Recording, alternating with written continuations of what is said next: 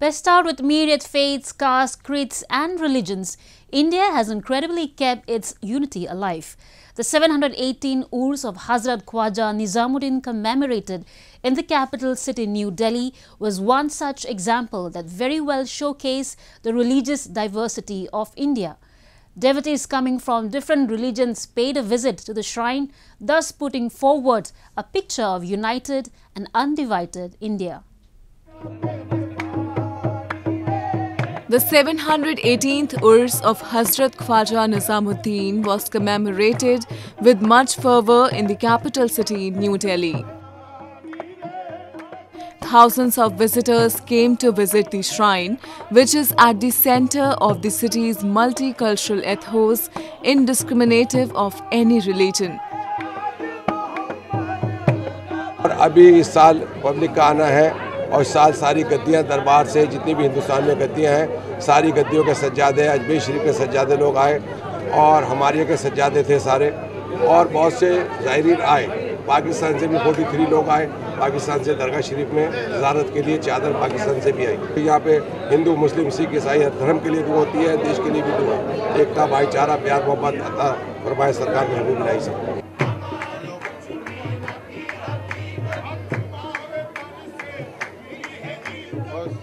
It is a belief among the disciples that the demise of Sufi saints is not mourned, rather, it is celebrated as their union with God.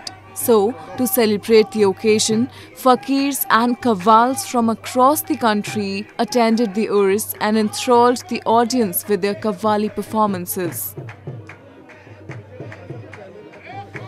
It is said that Nizamuddin, the patron saint of Delhi, had willed that there should be summer musical festivities at his funeral procession.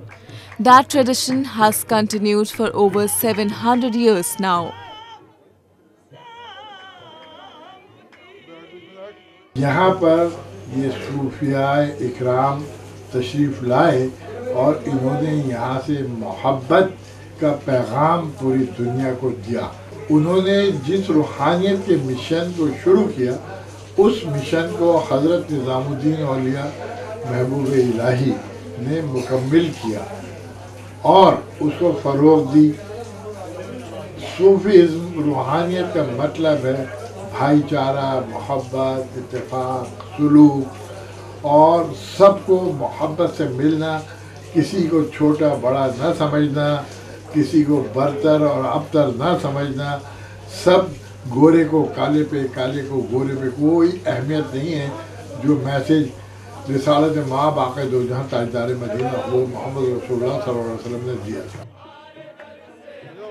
As a holy sacrament, langar was also organized at the that serves meals as per the liking of devotees who belong to different cultures and religions, thus making sure everyone can get the blessings of the saint without any discrimination. Message of love, peace and compassion towards each other continues to bring people to the shrine.